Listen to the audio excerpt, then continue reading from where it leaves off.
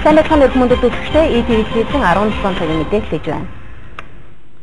Төмөр замын өргөн нарийн цэргийн асуудлаас үүдэн 100 чухал сэдв нэвтрүүлгийг захиалгаар зохицуулсан гэх Улсын хурлын гишүүн Батулгыг өнөөдөр Монгол Улсын ерөнхийлөгч хэлбэгдэрж хүлээн авч уулзлаа.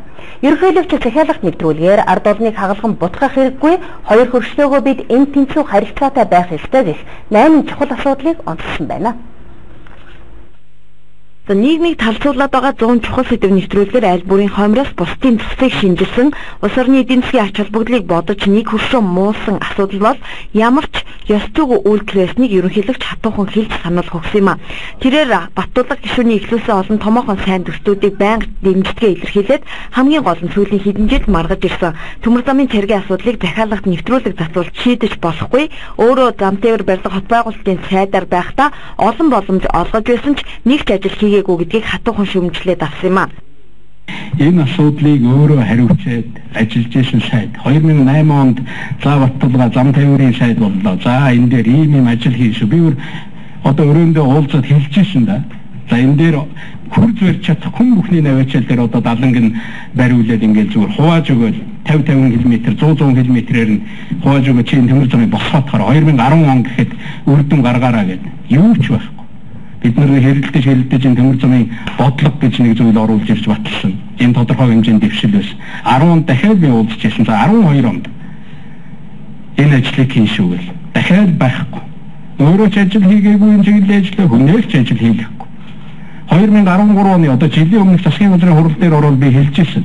Битгий шалтгаан тоочоод санаа алдаад суугаад бай. Битгий энэ ажлыг уяад Би ганц сайд их цагнжсэн Баттулга сайд чанд хандаж үг хэлж ирсэн. Хүмүүс санаж байгаа баг. Өргөл сануулж ирсэн. Өөрөө хийх хийх ёстой энэ ажлыг. За тэгээ бүр болохгүй болохоор 2012 оны сонгуулийн дараа би хэлж ирсэн. За энэ үйлдвэрлэл нөгөө сайн сандын аж үйлдвэрийн парк гэдэг энэ ажлаа Баттулга чи хий. Тэр үйлдвэрийн хөдөө аж ахуйн хариуцсан сайд энэ дээр дэмжийа. Одоо нөгөө сайн сандын аж үйлдвэрийн парк хаана вэ? Юу хийгдэв тэнд? За Монгол Улсын ерөнхийлөгч засгийн чэ гишүүнийч бай алдаа оноотой зүйлийг шударгаар шүүмжлэн гэдгээ хэлээд Монголын төрд ойртуулмааргүй төсөвт ойртуулмааргүй хүмүүс олон байгааг цохон тэмдэглэлээ. Тэрээр нэг хөршөө муулж болохгүй газар зүйн онцлог байрлалын хувьд Монгол улс Оросын холбооны улс болон Хятад хоёрын дунд байгаа учраас хоёр хөрштэйгөө зэрэг харьцаж адил тэгш байх хэрэгтэй. Хамгийн гол нь Хятад биш 3 дахь зах зээл рүү бүтээгдэхүүн гаргаж дамжин өнгөрөх бааз болж одоогийн жилдээ тээвэрлэж байгаа 20 сая тонн төмөр замын ачааг 100 сая тонн болгож ашиг хүртэх ёстойг уужмаар харах хэрэгтэй гэдгийг хэлсэн юм а. Магадгүй энэ нэг нэвтрүүлэг хийж юм уу нэг тусдаа ингэж нээлттэй ярихгүй байгаа болохоос биш. Бид бол хөрштэйгээ энэ асуудлыг ярьж байгаа. Тийм учраас зүгээр нэг э, хэрүүлийн алин болох байдлаар бид нар ингэж э, асуудлыг унгаж болмооргүй л байна. Тэгээ хоёр хөрш рүүгээ бараа тээвэрлээд гарч байгаа бол өөр өөрийнх нь царигаар гаргах нь зөв юм аа гэж бид үзэж байгаа. Оросын холбооны улс руу бүдүүн царигаар үнэхээр экспортын уул уурхаагаас явж байгаа бол одоо ганцхан замын тухай ярьж байгаа. Тэр өөрийнх нь царигаар явг. Тэгээ тэр дуу солидог өрдөг юмгүй ингээд явг. Тэр нүүрсийн тэр асхадгүй.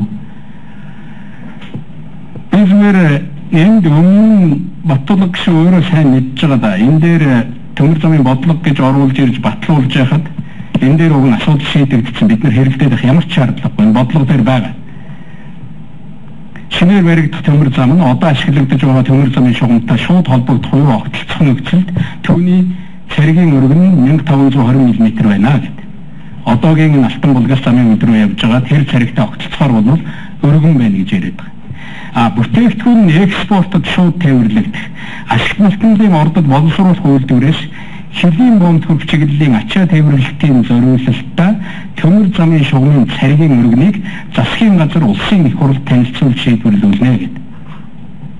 Ингээд засгийн газар улсын хурлд оруулж байгаа шүү дээ. За эцэст нь ерөнхийлөгч хэвлэл мэдээллийнхэнд хандаж иргэдэд мэдээлэл хүргэж байгаа хүмүүс хариуцлагатай байх хэрэгтэй. Захиалгат нэвтрүүлэг болгон үнэн байдаггүй тийм нэвтрүүлгийг нэвтрүүлж байгаа хэвлэлийн эцэд ч хариуцлага хүлээх ёстой гэдгийг хатуухан хэлсэн юм а. Мэдээллийг тэгш жаргаж өрнөсөх хүргэлээ.